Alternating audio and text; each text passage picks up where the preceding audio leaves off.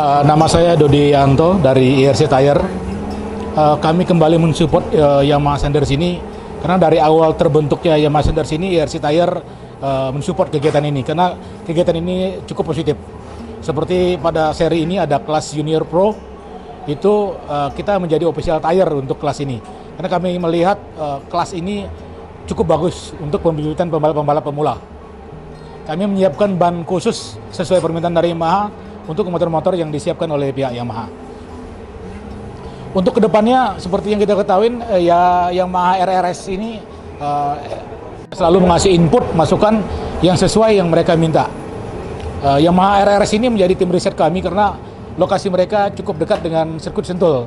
Jadi mereka sudah sangat hafal dengan karakter sirkuit Sentul. Jadi jika kami akan melakukan tes, riset bersama-sama, itu bisa kami lakukan dengan cepat dengan tim uh, Ray Ratukori.